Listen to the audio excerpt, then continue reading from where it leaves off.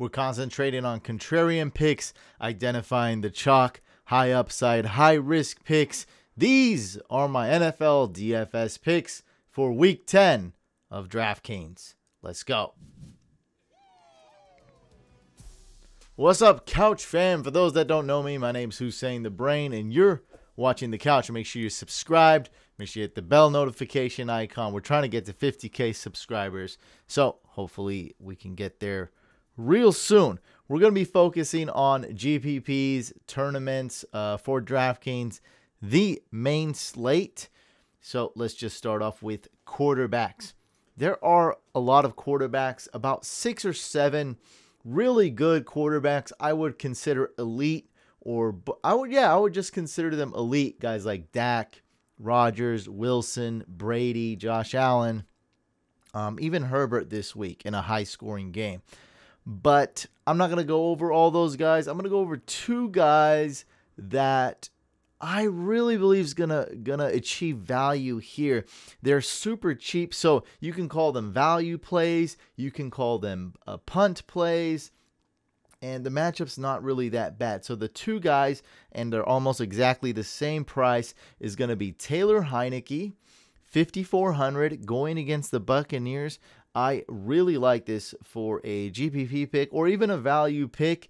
So it's going to be about let's say let's say Tom Brady gets about 27 fantasy points, right? You'll only need Heinicke to get around 19 fantasy points to achieve the same value. A guy like Tom Brady is 7600. So for the super elite quarterbacks, you're going to be paying about 7 or 8k.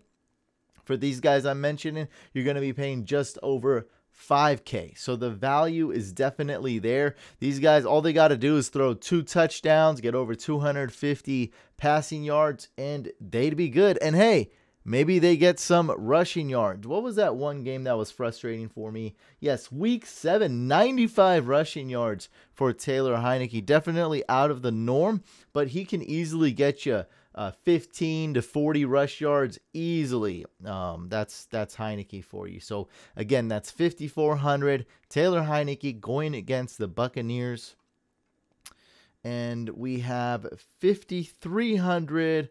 T Law, Trevor Lawrence, good matchup going against the Colts, and uh, he's so cheap, you know, right around the same price point, and he can also get some rushing yards as well. So I like both those guys as value plays. Uh, for running backs, lots of elite options. Actually, it's going to be a very similar situation, right? We have who's amazing this week JT, Dalvin, Najee, Ekeler. Um, and then we have Zeke, Aaron Jones. I love Aaron Jones. Um, for cheaper, we got James Conner. All those are great options, but I'm going to be more inclined to going with the cheaper options, even if they're going to be chalky. So the cheap options are, I'm just going to go in order of how they're listed. So 47, Devin Singletary, that's going to be your contrarian pick. If Zach Moss is out, I like Devin Singletary, and he'll still be contrarian because we just have so much better plays that you're going to get Singletary. No one else is going to pick him. It's going to be amazing. So he's my contrarian pick. Not a lot of confidence in him. What's the the Jets? How, how are they against uh, running backs? Oh, they're uh, dead last. Uh, so they allow the most fantasy points to running backs. The Jets defense, that is. Again, Singletary 4,700 going against the Jets as a contrarian pick. Okay. Now, for a chalk play, one that we're much more confident in, that's going to be D'Ernest Johnson. I was hoping I clicked the right name because it said D Johnson. There's so many D Johnsons in fantasy football in the NFL. So D'Ernest Johnson, uh, we know Chubb is out. We know Felton is out. We know John Kelly is out. And Kareem, everyone's out for the Browns. So D'Ernest Johnson's the only running back left and he's only 4,700. Not a great matchup. Um, I know it uh, it may look like that with this 25 here. Uh, not a great matchup though, but um, he'll still he should be able to ball out. So I, do have tremendous confidence in D'Ernest Johnson. He will be chalky. So what do you what do I think? Should we play the chalk in a GPP? I'm saying yes, I would not be afraid to to go eat some chalk with the running backs this week. And the next guy, very chalky, who I love, I've been tweeting about all week. Mark Ingram, 4,500 going against the Titans. He'll get a lot of carries, a lot of targets, a lot of snaps. Absolutely love Mark Ingram for this price. He's going to be chalky. Um, and uh, I'm going to eat that chalk, baby. Chalk Ingram, the second. I'm going with Mark Ingram.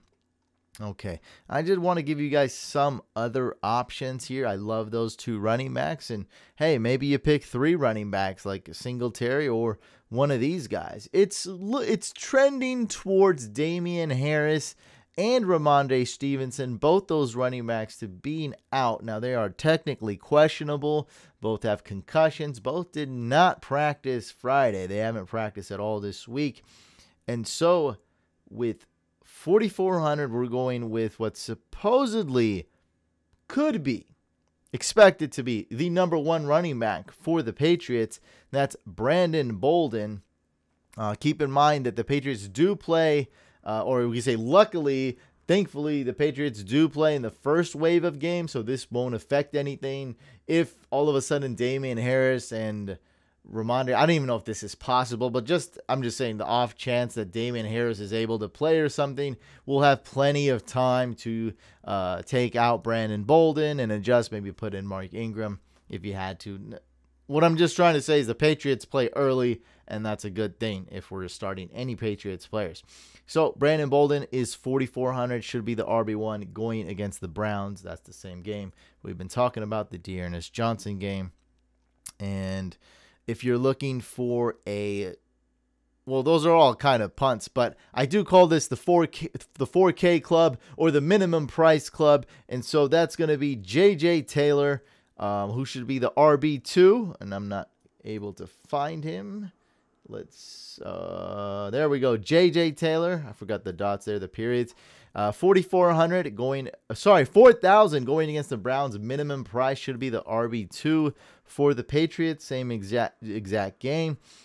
Game script for this could scream like a Ronald Jones game. Now he's not been that like he's not good in the pass game, maybe not good at pass pro, um, and you know he hasn't really looked that good as a runner this year. But nonetheless, he is a super duper punt contrarian and minimum price running back. Just wanted to give you some other options. And my least favorite uh, minimum price running back is going to be D'Onta Foreman, essentially the RB2 for the Titans or the second runner for the Titans since Jeremy McNichols is really solidified as just the pass catching back, pass catcher, pass catching back, third down back, scat back, whatever uh, you want to call McNichols. Okay, those are the running backs. Let's move on to wide receivers. Now, this is where it gets interesting. It's not just a bunch of punts. So we can spend up a little bit here if we need to because we're saving literally everywhere else. So let's talk about Tom Brady's receivers. Antonio Brown is out. Rob Gronkowski is out. Uh, so Godwin is questionable. Mike Evans Everyone's picking Mike Evans. Mike Evans is a stud. Everyone's picking Tom Brady too, by the way. That's what that's the popular pick. Tom Brady, Mike Evans. Oh, let's party, let's go. Everyone loves them. They're gonna be the best, the best. So what do we do? Naturally, uh, Mike Evans is 6,900. I'm not saying I don't like him, but if you watch my GPP videos, you get the drift. We like to go with contrarian picks here. And if we just so happen to be right, we'll go straight to the top, baby. Mike Evans, 6,900 pretty decent price, great upside, great wide receiver. But if Godwin outscores him or Mike Evans for some reason, for some odd reason, lays a dud, right? Maybe he catches a touchdown, then the refs call it back. You never know. Um, something could happen, or they just tackle him, uh, pass interference, right? you never know. Like this, these things happens. Wide receiver is an up and down position naturally. It's an inconsistent position. Um, quarterback and running back are the two most consistent positions. So, Chris Godwin, questionable tag. Questionable tag deters people from picking him. Price is more expensive, deters people from picking him. He's going to be much more contrarian. And, I mean, guys, are you kidding me? He's going to be so contrarian. He has so much upside. This could be the best game he has all year. Now, it's going to be hard to beat those last two performances 31 and 28 fantasy points, but I think he has a shot at doing that against Washington. So, absolutely love him. Keep in mind, though, that he is questionable. He does have an injury. He might not play. Bucks do play in the early slate, so you'll be able to take him out of your lineup. And oh yeah, I mean, you know, an easy plug right there could be Mike Evans, right? Or really anybody in that price range. Uh, Keenan Allen, CeeDee Lamb. Um, you know, it would be easy to to swap him out since he's so expensive. All right, so I, you know, I'm again, I like Mike Evans, but I know Godwin's going to be a lot more contrarian. That price and that questionable tag is going to scare off a lot of people. I mean, some people pick their lineups like Wednesday or Thursday, don't even look at this, or Friday, and they're like, oh, Chris Godwin, I'm not picking him. And they don't even check it. Like, the, a lot of the entries are like that. And so that's why I, I do know people will be scared to pick Chris Godwin. It's just, it's going to happen. Um, some more options 6500 tyler lockett i feel like it's gonna it's gonna be a little bit of a contrarian pick here not you know what not really contrarian actually but i just i feel like his ownership's not gonna be too high um if you want a great value pick, that's going to be Amari Cooper 6200 in a high scoring game against the Falcons. So that's a good pick. If we want to save money, we're going to go with T.Y. Hilton. He won't be contrarian, but I don't think he'll be chalky either. 4,700, he's back going against the Jags, and Carson Wentz is playing really well, putting up a lot of pass yards. So that's really cheap. You can't really find a deal quite like this ever. 47, that's almost half the price of the top tier uh, receivers. Um, if we really want to save, I have two punts for you guys. That's Deonte Harris, Saints wide receiver. You notice that Titans allow the most fantasy points to wide receivers, uh, 4,000, Deonte Harris. Uh, Trevor Simeon is the starter, by the way. And if you're looking for a super risky punt, this is nothing more than a complete flyer, complete dart throw, complete punt maybe extreme salary relief if you really want it. Um, if I was just to enter a, a, big GPP once. I would not pick this guy, just to be clear. I don't love him, but Marquez Valdes-Scantling came back last week, had Jordan Love throwing the ball, didn't see a lot of snaps, but that's his first game in several weeks. So now it's his second game. Now we're expecting Aaron Rodgers to be back, going against the Seahawks. And that's why I like this. He will be contrarian. He will be cheap. He is boomer bust. That's a good thing for GPPs. So I do like him as a alternate pick, salary relief, super punt at wide receiver. And look, I'm I'm saving you guys a lot of salary cap with this video. At least I'd like to think so. At least I hope so. Um, and you know, so yeah, if you think I am, you think I'm saving you guys a lot of salary cap, smash that like button. Show your appreciation. Thank you so much. Um, if not, go ahead and smash that dislike button. It's all good. Uh, for tight ends, lots of good uh, high end tight ends. But keep in mind, Kyle Pitts, I like him a lot. Priced at 5800 Now, the two big dogs, Waller and um, Kelce, they play each other, I think, Sunday night football. And even Kittle's not on here because he plays Monday night. But we do have Scroll down a little bit so we get a lot more value. At 3,900, Pat Freiermuth. Love him. We know that Juju's out for the year. We know that Claypool's out this week. Probably is going to miss one or two more weeks as well. But Pat Freiermuth, one of my favorite players. He's been absolutely crushing it. Eric Ebron is back. But still, you know, eye for an eye or whatever. One down, one back in, whatever. Next whatever. All I'm trying to say is that yes, Claypool is out and Eric Ebron's back in, or so Eric Ebron's back in, but Claypool's out, right? So it's not like we're getting back Claypool, we're getting back Juju, and we're getting back Ebron. No, they're still short-handed. They still need players to throw to. And uh, I think Freiermuth's still going to get six plus targets this game. Um, right under him, 3,700, Ricky Seals Jones. I love this. Could be a good stack too with Taylor Heinicke. This is super cheap because we were kind of expecting Logan Thomas to be back. He's not. Logan Thomas is out. Ricky Seals Jones still super cheap priced and uh, could do some damage against Washington football. Uh, sorry, against the uh, Tampa Bay Buccaneers secondary. Um, Dan Arnold could be interesting stack with uh, Trevor Lawrence. Just wanted to just quickly mention that he's not on my tight end list, my notes. Um, but I have two punt tight ends that I love. That's number one, OJ Howard with Rob Gronkowski out. I'm going with OJ Howard. He's shown some flashes or one flash one time. That was week six. And uh, we'll see if he can get back to that. I do believe he will be the number one tight end with Gronk out, but we'll see. This team is a little unpredictable and is always uh, dealing with some kind of injuries everywhere. So everything's in flux. But he's my guy instead of Brate. I would go OJ Howard, 2,700, by the way. Um, and if you're looking for a super punt, this is more of a fun pick not necessarily recommending him, but I do have something called the minimum price club, and I always try to put players in there. And Jonnu Smith, minimum priced 2500 not really looked well, okay? But there are some rumors that he might be used in the backfield. So if Jonnu Smith is taking snaps at tight end, taking snaps at wide receiver, taking snaps in line, and and taking snaps in the backfield. He just might do some damage, just might do it enough to get a touchdown. And you know what? If you pay minimum price for a tight end and he gets in the end zone, that's going to be worth it, right? Because that right away, that's going to be a minimum of seven fantasy points. We love that. Um, yes, seven. That's right. He's going to probably get a reception, probably get some yards. So yeah, it's going to be around seven or more.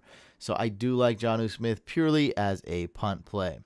For defenses, hey, this is how I figure. I save so much money everywhere else. We can spend up. So I'm gonna name my top four, five defenses I would pick.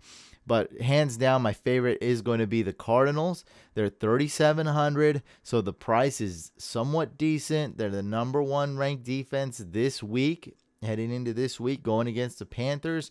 Um, Sam Darnold is out. PJ uh, Washington is playing. PJ Walk. I keep doing that. I think about it too a lot, and I, and I'm, I'm just gonna keep getting both of them mixed. Uh, Phillip Walker uh, is playing, so uh, Cam Newton unlikely to start, um, which wouldn't be good for them anyways. So he just signed to the team. Anyway, yeah, Cardinals is my favorite. If you want other defenses, we got the Steelers for 4100 going against Detroit. We got the Bills, eh 4,000 going against the Jets. No one wants to start them though, right? Colts D much cheaper, 3,600 going against the Jags. And my super duper punt. Look, if some if if Tom Brady were to have a bad game, it could possibly be this one. Maybe the Washington football team is a little bit energized after their bye week. I don't have any confidence in this, but at 2100, it's super cheap. And I actually do believe this one's got a shot. Like, look at this defense. I don't know how your league scoring is, but I mean, they seem to put up fantasy points. They seem to every week get just about six or seven fantasy points. Like, it's not been that bad in terms of fantasy. Now, like I said, I this low floor, just a punt play. I don't really believe in this, but hey, if you're doing something crazy, if you're spending up on running backs and you want to go with the Washington football team defense, I don't hate it. I mean, it is literally the worst matchup possible going against the Bucks on paper, uh, but that is my risky defense pick if I had to pick one. Again, they're 2100 basically minimum price. You can't get any cheaper than that other than 2000. Washington defense, baby, going against the GOAT. All right, guys, that's going to do it for this video. Uh, make sure you subscribe to this YouTube channel. Follow me everywhere at Fantasy Couch. I'm on Insta. I'm on Twitter. Where am I on TikTok, Twitch, YouTube, everywhere. Follow me at Fantasy Couch. We also have a second YouTube channel, Fantasy Couch Podcast. Check that out as well. Let's get that W this week also. Let's finish in the green. Every time you're in the green, it's a good thing. So always just try to finish in the green and uh, if you don't win the big money, it's okay. As long as you're in the green, it's a good thing, man.